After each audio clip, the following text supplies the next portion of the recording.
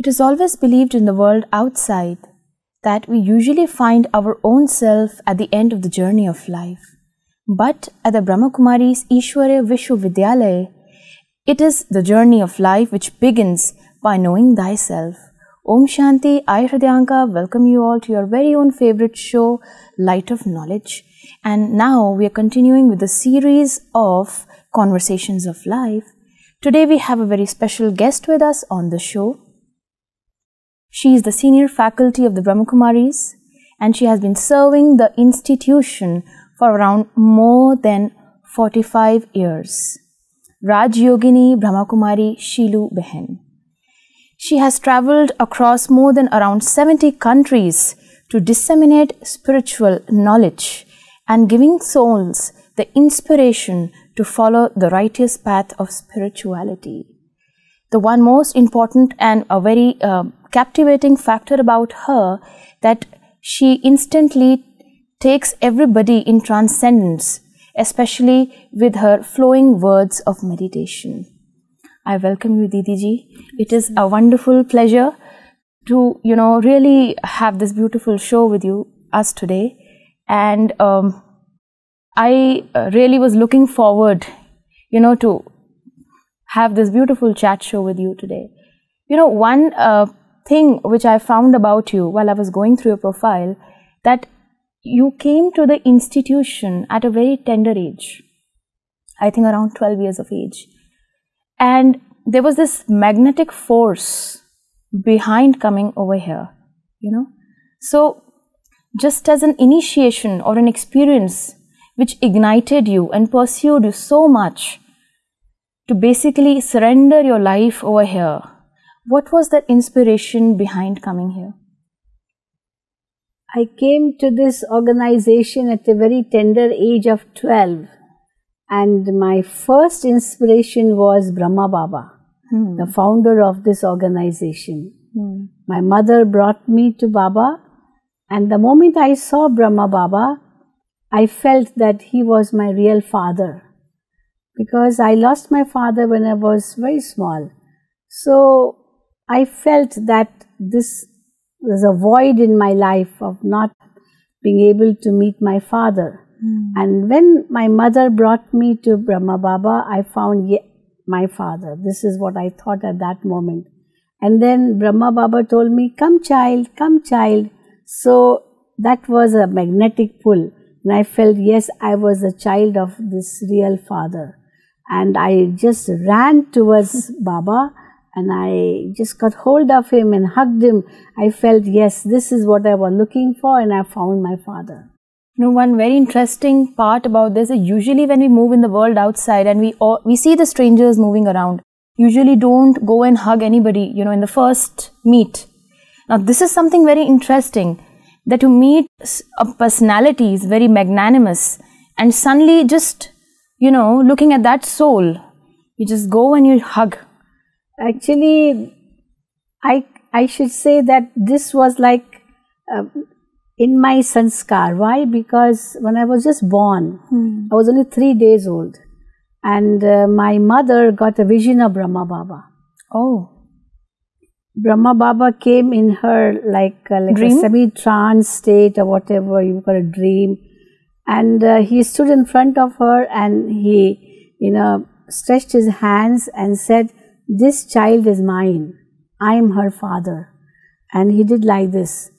Now, this was happening everything in transcendence or in a dream? Yeah, yeah. It, whether it was a dream or it was uh, like a trance, even she didn't know. But she saw an angel dressed in white and appeared in front of her and said, I'm her father and this is my child. And he did like this. And my mother gave me to him. That sounds and magical. And then he disappeared. And I was very much there, I had not gone. But she felt that this girl is very unique, very special.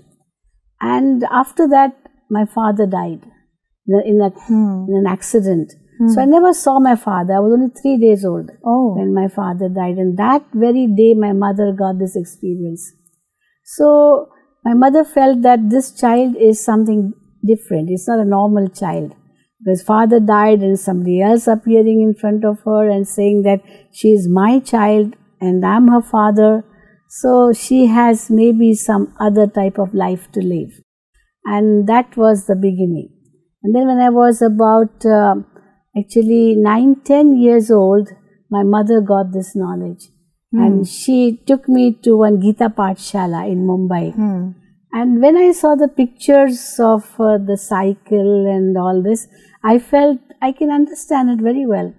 So, what I feel is that this was something from my last birth. Hmm.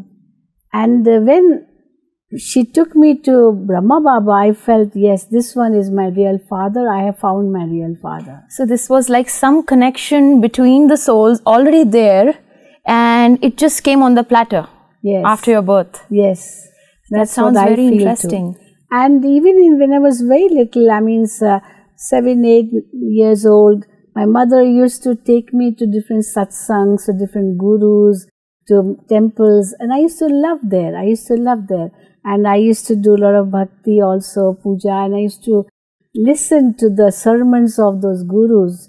And I liked it very much. In school also, I preferred to read spiritual books rather than hmm. anything else. Did, did anybody not tease you that at a tender age of 12 when the girls and the boys, you know, the small kids are busy with the toys and playing in garden and getting themselves dirty in the mud and then coming back home and asking mama I want to have this, please cook this for me. So that sounds very interesting. So the spiritual turn or the taste for spirituality, I think in your life developed at a very tender age. I mean, how does this happen? You never felt that I want to go out no, like the normal kids No, outside? I had no interest really for the world. I did not have any interest in movies or going to uh, hotels, uh, restaurants. I didn't have any such interest. So I think this was from my past birth. Oh. Probably you were carrying that sanskar, Mm. you know. And even in college, I preferred to read uh, books of on philosophy. Hmm. Vivekananda, I loved. I used to read the Gita, and that's what really attracted me. And I felt that this is what my life was. So it was like a ready made soul coming to the body and prepared to go for the spiritual journey. Yeah. But how did it really initiate? You know, what was the time and what were the thoughts which struck, which striked your mind where you decided, okay, this is what I want to do? Any such experience, you know, which really moved you? No, actually, when I came to Brahma Baba, I met the other dadis, the Brahma Kumaris. I felt this was my real home, which uh, I was looking for, and now I have found it. So I really did not have like a click, but it was like so natural for me to accept this spiritual family as my real family. And I just came into it. I used to go to school, then I went to college, and in college also, uh, I would study, but uh, my interest was more in spirituality. Hmm. And in my family, they wanted me to become a doctor, but I was not really interested. So I wrote a letter to Brahma Baba in the year 1967. Hmm. I was in my inter science in college, and I wrote a letter to Baba. I wrote, Baba, my family wants me to go for medicine. What should I do? Hmm. Well, Brahma Baba knew me because when I met Brahma Baba after that, I used, I even gave a speech in front of Baba in English. Oh. And Baba said, Oh, you're very good in English. Be more clever and Baba will send you abroad. That's what Oh. Baba told me. At that age, when I was just 15, 13, 14, or maybe 15. And uh, Baba told me that. So he knew me. And I was quite close to Brahma Baba. I came to Mount Abu twice, and Baba used to come to Mumbai every year. Hmm. So when I wrote a letter to Baba saying that my family wants me to go for medicine, Baba replied to me and said, Child, I have great hopes in you. Hmm. And Baba wants you to become a spiritual doctor and serve the world. Wow. Yes, so this is That sounds Baba wrote to me. interesting. Yeah. So, spiritual doctor, how is that different from the normal doctors, the medical doctors which we have today? We see normal doctors they treat the body, Okay. and spiritual doctor means treating the soul. Oh. How So- how can we actually do that? Yeah, we treat the soul because the soul today is filled with all vices and impurity and sorrow and suffering. They are like diseases of the soul. And treat the soul means help the souls to be freed from vices, from impurity, from sorrow and suffering because they are like a, a big disease in the soul. Since Didi, you told me that at a very tender age, your mother had pursued you to attend various religious satsangs and such kind of meetings. However, you did not devote your life over there, any other institution related to religion or spirituality. So, what was most attracting or captivating about the Brahmakumaris? You know, this, what was so attractive about the spiritual knowledge disseminated over here, which made you a spiritual doctor? See, first it was Brahma Baba himself, hmm. and then I felt that it was the supreme being, God Himself, coming in the body of Brahma Baba and giving the spiritual knowledge. So I was already attracted towards that. And the knowledge also attracted me a great deal. I felt this is what I was looking for, and I have found it. So when Baba told me you have to become a spiritual doctor, well, this is what I was really wanting to. Mm. I did hmm. not want to be that worldly doctor I wanted to serve spiritually and I loved teaching. Hmm. Teaching was also in my blood. When I was in college, I used to teach children. I loved teaching, so I felt I'll be a teacher. I don't want to become a doctor. So when Baba told me I have to become a spiritual doctor means you have to teach the spiritual knowledge. And that is what I was looking for. So then there was no looking back and I finished my graduation and dedicated my life in this spiritual task. Oh, any one point or of spiritual knowledge which really touched your heart and because of which there was a tremendous change in your own personality? Yeah, because when we say spiritual knowledge, it is so deep, it is so much enlightening. For example, spiritual word comes from the word spirit. Hmm. So, spirit means soul. So, I'm a soul and I'm a spirit. I'm eternal, I'm immortal, I'm imperishable, I never die, I was never born. So, this knowledge of the soul attracted me a great deal. You know, people in the world are so afraid of death. And when I came to know that I never die, I'm eternal, I was there and I will be and I will always am and will be. Mm. So, that thought made me be pulled towards the spiritual knowledge. Mm-hmm. And then I came to know who God is. How God is light, and I'm also a point of light, and uh, I'm a soul, and He's a supreme soul, mm-hmm. my Father, all my relationships. So I, I felt this is what I was looking for. Mm-hmm. And I found my real Father. I found the knowledge which I was looking for. I found the truth. I am now enlightened. So that was what I was looking for and I found it. Okay, you just mentioned right right now that uh, God himself descended down on the earth in the corporeal body of Brahma Baba. And could you experience that in reality? Yes, I used to experience. I even got a, a vision at that time when I saw Brahma Baba. I just uh, couldn't believe that how Brahma Baba, I, could, I did not see him in a physical frame. I found that he was like an angel, mm. filled with light and light and light, and his forehead was shining so much. And I felt, yes, this could not be any ordinary human being. He is very elevated. And then when I came to know that Shiv Baba enters in his body, the Supreme Being, so he's a medium so that attracted me more and more towards Brahma Baba. First was Brahma, my father, and then how he's a medium, and then Shiv Baba coming in his body, and that pulled the soul so much that I said, This is what I was looking for. So, any such experiences of transcendence that which made your mind fly away from this physical world because you mentioned that I am a soul. So, is there any point? I mean, you really feel that we are bodiless? Yes we can be bodiless and that's what we do in meditation mm. to hmm. become bodiless because this physical body is just an external cover mm. just as I'm put, I put on clothes these mm. clothes are detachable I hmm. can remove them I can change I can you know wear whatever I like similarly this physical body is like a costume hmm. and the soul puts on the costume and plays its role in this world drama so this point I liked very much and I realized that as a spiritual being, as a soul in this world, and I'm just playing my part, I can watch everything as a detached observer and not be affected by anyone's actions or role or whatever he is doing. So this is what I experienced. Oh, that's interesting.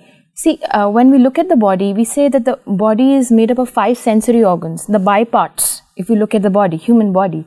But I want to ask you, is there any bifurcation of a soul in general? What makes up the soul? We would like to know that. No, soul is eternal. Soul is never created and it will never be destroyed. But that subtlety of the soul is that it is actually uh, an embodiment of peace and love mm. and hmm. happiness and bliss and all the values we are wanting in life, mm. they are hmm. already in the soul. Mm. So we say that every soul is an embodiment of these qualities. Mm. Every soul is uh, actually having a mind, intellect, and sanskar. So when I say mind, mind means part of soul. Hmm. Intellect means part of soul. Hmm. Sanskars means part of soul. So the soul carries these three faculties, these three abilities, and that's what I am. This is what I felt. So I don't have to look for peace outside. I don't have to look for happiness outside. I felt that it is part of me because I'm a soul. So right from the beginning, this consciousness was in me. So you mean that the mind, intellect and resolves are not there in the body? No, no, they are not there in the body. The body is only a medium. Now, for example, I am speaking to the microphone. Microphone is only a medium. Microphone doesn't have any feelings. Microphone will not have any understanding.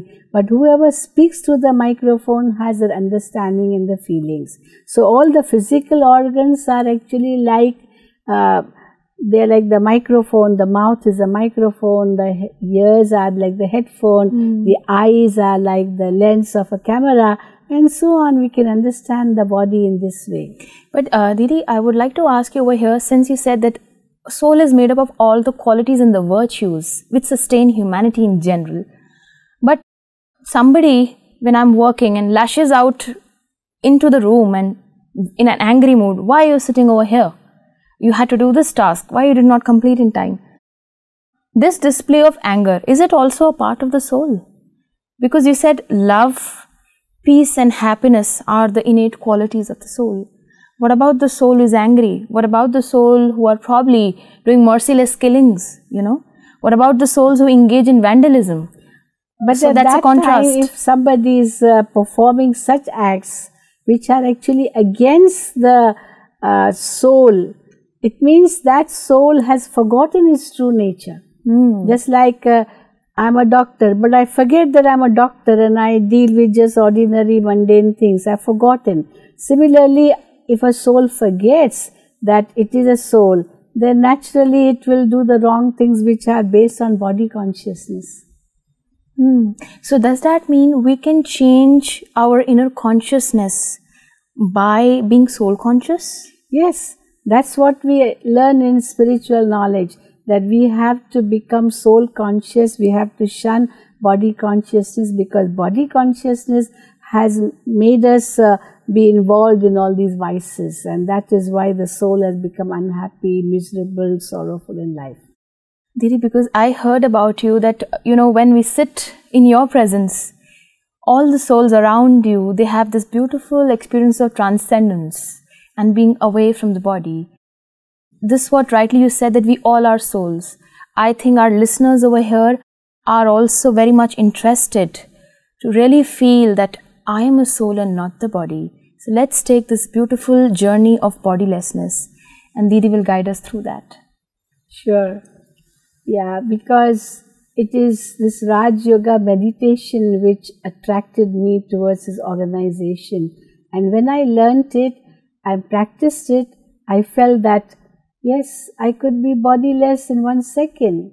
I'm not this body. I'm not something physical, but I am a spiritual entity. I'm a soul. I'm a point of divine light and might. I'm eternal. And when I say I'm eternal, I feel I have conquered death. And then I go inwards. I become introverted and I tell myself, I am an entity separate from this body. I'm neither this body nor am I any of these physical senses. But these physical senses, which are part of the body, they belong to me, but I am not that. I am different from what belongs to me. And in a second, I can go beyond the pull of the physical body. I become aware of my true self. I become detached from the pull of the body.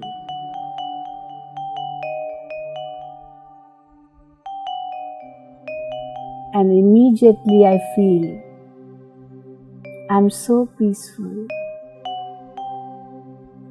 I don't have to look for peace outside. Peace is my true nature. Peace is my swadharma.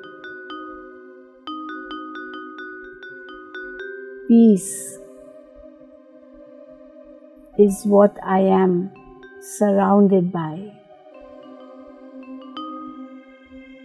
Peace is my inner quality. I am peace. And I go into that state of peace.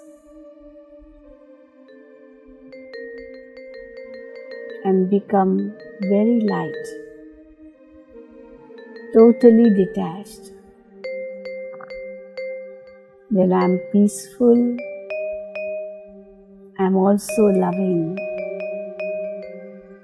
So, love is my nature too.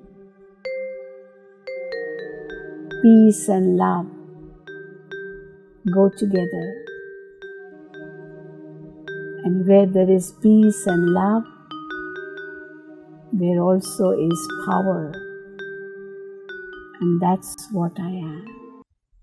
So, this is the true experience of meditation in its first step and through this, we become more and more enlightened about the self because we don't have to look for all these outside.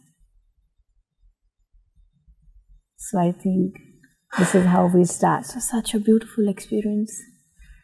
I must say that, you know, these peaceful thoughts itself make us so peaceful inside that we start feeling somewhere, okay, I am peace and I'm light.